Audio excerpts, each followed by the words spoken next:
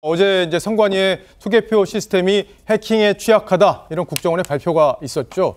어, 지난 총선과 대선 때 여러 논란들이 있었기 때문에 어제 발표가 이제 큰 주목을 받았습니다. 그런데 저희가 취재를 해보니까 아, 국정원의 보안 감사에 선관위가 제대로 협조하지 않았던 그런 정황들이 확인이 됐습니다. 어떤 이야기인지 지금부터 김정우 기자가 아, 단독으로 취재한 내용을 자세히 설명해 드리겠습니다.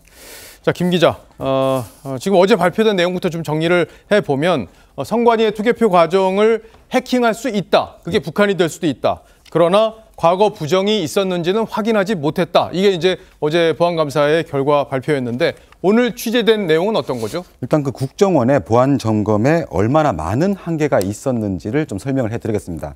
다르게 말하면 점검 과정에서 선관위의 저항이 상당했다는 얘기가 되는데 우선 선관위는 어제 그 국정원이 요청한 그런 이제 뭐 자료에 대해서 반박 형식의 보도 자료를 딱 냈습니다. 냈는데 요청한 각종 정보와 자료를 최대한 제공하고 그리고 또 지원했다 이렇게 강조를 했습니다. 예. 그러면서 시스템 구성도 그리고 정보 자산 현황 그리고 시스템 점수 관리자 테스트 계정까지도 다 제공했다고 공개를 했고요. 자체 보안 시스템도 일부 일부러 적용하지 않았다고 설명을 한 바 있습니다. 그러니까 선관위 설명만 보면은 이미 중요한 정보를 다 충분하게 국정원에 제공을 했고 그리고 기술적 부분만 점검을 했기 때문에 실제 투표 조작은 불가능한 거다 이렇게 결론을 내렸다 이렇게 이제 선관위는 입장을 그렇게 밝히지 않았습니까? 예 그런데 좀 국정원에서는 좀 다른 얘기가 나오는데 선관위가 상당히 비협조적이라서 제대로 된 보안 점검을 실시하기도 어려웠다고 합니다. 우선 좀 전에 선관위가 제공했다는 그 시스템 구성도의 경우에는 정작 IP 주소나 그 서버 용도와 같은 핵심 정보는 모두 삭제한 뒤에 줬다고 하고요. 또 보안 컨설팅 팀이 취약점을 탐색하기 위해서 설치한 그 점검 도구라는 게 있는데 아주 기본적인 프로그램입니다. 근데 이것도 몰래 삭제하는 일이 있었다고 합니다. 이렇게 되면 정확한 전산망 그 파악이나 아니면 취약점을 탐색하는 데 상당한 지장을 줄 수밖에 없다고 합니다. 예, 국정원으로서는 뭔가 좀 부족한 자료를 받은 상태에서 점검을 했기 때문에 점검이 어, 실효성이 좀 떨어질 수밖에 없다 이런 얘기를 지금 하고 있는 거예요. 예, 거기다가 또 점검하는 환경도 그리 만만치 않았다고 하는데 점검팀을 지원하는 그 선관위 담당 직원이 딱 두 명이었는데 뭐 휴가를 가거나 하면 자료 요청부터 좀 어려웠다고 하고요. 그리고 야간이나 주말엔 참관인 근무 시간 때문에 점검을 못해서 정규 근무 시간에만 했다고 합니다. 또 북한 해킹 피해를 입은 그 장비를 포렌식하려고 저장 장치 제공을 요청하니까 장비 구매 그 예산이 부족하다는 그런 이유로 지연이 됐다고 합니다. 그래서 이번 점검이 7월부터 9월까지 진행됐는데 당시 좀 여러 경로를 통해서 좀 들어보니까 선관위가 너무 비협조적이라서 국정원 입장에서는 상당히 곤혹스러운 상황이란 토로가 이어졌던 것도 사실입니다. 예, 선관위 얘기는 좀 들어봤어요? 예, 그 좀 전에 입장이 들어왔는데 예. 일단은 그 선관위는 그 핵심 정보 삭제를 하지 않았다라고 했습니다. 그리고 IP 현황이 포함된 망 구성도 하고 IP 사용 현황 그리고 서버 정보를 모두 제공했다 이런 입장입니다.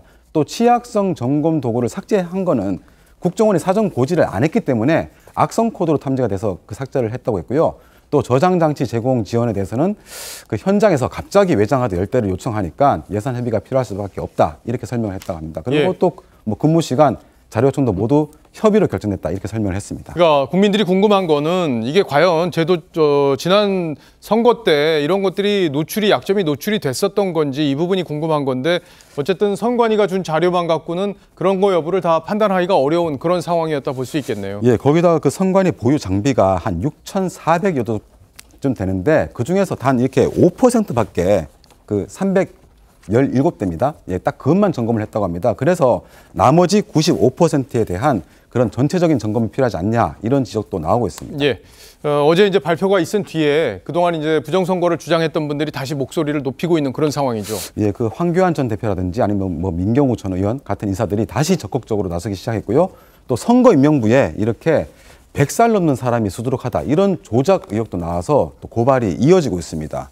그러니까 1800년대 1800년대에 태어난 사람이 투표를 했다 뭐 이런 얘기도 있다면서요. 예. 여기 보시면 지금 1823년생이라고 나오는데 아 여기요? 연령이 197세로 나오죠. 예. 예. 그래서 나오는데 그래서 제가 선관위 물어봤습니다. 이거 뭐냐고 했더니 선관위 설명은 선거 임명부 작성은 그 각 구시 군이 주민등록 기준으로 작성을 하는데 주민등록 변경 사항이 정리되지 않은 상태에서 작성된 걸로 추정된다 이렇게 말을 했습니다. 다만 사망자가 선거 임명부에 있더라도 투표소에서 본인 확인을 거치기 때문에 유령 선거인의 투표는 원천적으로 불가능하다 이렇게 말했습니다. 다만 2020년 총선 관련 추가 의혹들이 계속 이어지고 있지만 당시 사용했던 임대 전산 장비는 이미 반납이 됐고요. 또 보안 장비 로그 기록 보존도 2년밖에 안 되기 때문에 총선 부정선거 의혹을 확실히 입증할 방법은 현재로서는 없다고 합니다. 예, 어, 궁금한 게 그 부분일 텐데 우리가 이제 어떻게 이걸 어, 확실히 정리를 해야 될지 앞으로 이제 어, 선관위에서도 적극적으로 더 협조를 하고 관계 기관에서도 이런 문제를 확실히 들여다봐서 다음 총선에선 이런 문제가 없도록 확실하게 보완을 해야겠다 이렇게 정리를 할 수 있겠습니다.